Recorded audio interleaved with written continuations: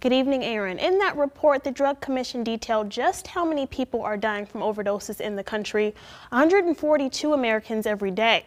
They say they've done the research and now the ball is in President Trump's court. They're urging him to do more to save lives.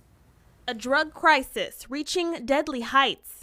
This is probably the worst drug situation in our country in decades, if not a century. President Trump's Drug Commission calling on him to declare a national emergency on the opioid epidemic. Their recommendations having health plans provide the same level of services for someone with substance abuse issues.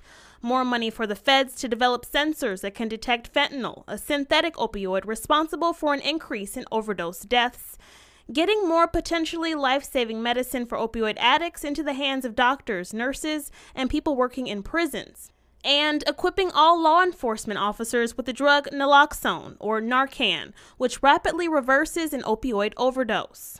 That this is a tool that, that could benefit, you know, people, that it could save you know people's lives young people's lives you know that are unfortunately addicted to something that's just sometimes greater than their ability to be able to to overcome Deputies with the Santa Cruz County Sheriff's Office just went through training on how and when to use naloxone.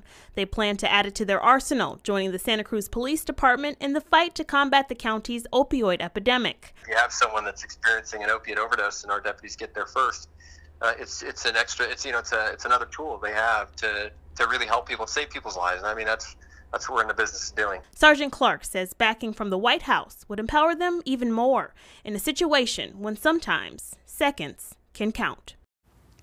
Now, the Santa Cruz Sheriff's Office hasn't decided yet if they're going to put naloxone in every patrol car or how many kits they'll need. As far as the Drug Commission's other recommendations to the President, the White House says they will begin reviewing them immediately. Aaron. All right. Thank you, Sierra. Meantime, in the report, the Drug Commission also criticized the administration's budget proposal. It calls for nearly $400 million in cuts to drug and mental health programs.